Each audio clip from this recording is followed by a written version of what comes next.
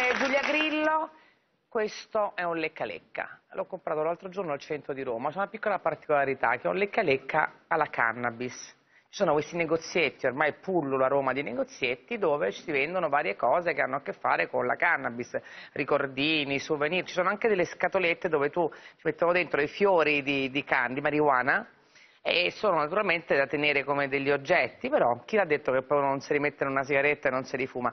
Lei è preoccupata di questa cosa? Perché comunque per i, per i ragazzi è un messaggio, no? che insomma è una cosa non grave, che si può fare, che è permesso.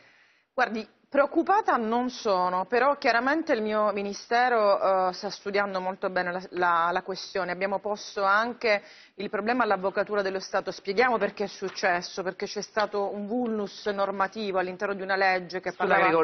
Esatto, eh, che ha consentito questa sorta di liberalizzazione. Adesso naturalmente ci sono tantissime attività che sono aperte e che vendono questi prodotti con contenuti comunque ovviamente irrisori, diciamolo, quindi non c'è un pericolo reale. Blandi magari per alcune categorie come per, per, per le gestanti, innanzitutto per alcune categorie come possono essere appunto le gestanti o i minori, ad esempio ovviamente secondo me ci vuole una cautela, quindi probabilmente giriamo in questa direzione. Sulla questione educazione, quello è un tema chiaramente molto aperto che si collega poi al tema più generale della liberalizzazione ecco, della lei è favorevole alla liberalizzazione delle droghe leggere? Io personalmente sono favorevole, ma non è nel contratto, dico sempre, non è nel contratto di governo, quindi poi se il Parlamento deciderà come affrontare la questione. Noi, come sapete, la scorsa legislatura depositammo una proposta di legge in questa direzione, quindi poi si vedrà. Al momento non è in discussione. E per, dal punto di vista curativo usare la cannabis dal punto dal di punto vista, di vista curativo? curativo? quindi la cosiddetta cannabis terapeutica, ovviamente invece ci sono uh, grandissimi vantaggi per i pazienti che vengono riconosciuti destinatari di questo tipo di terapia.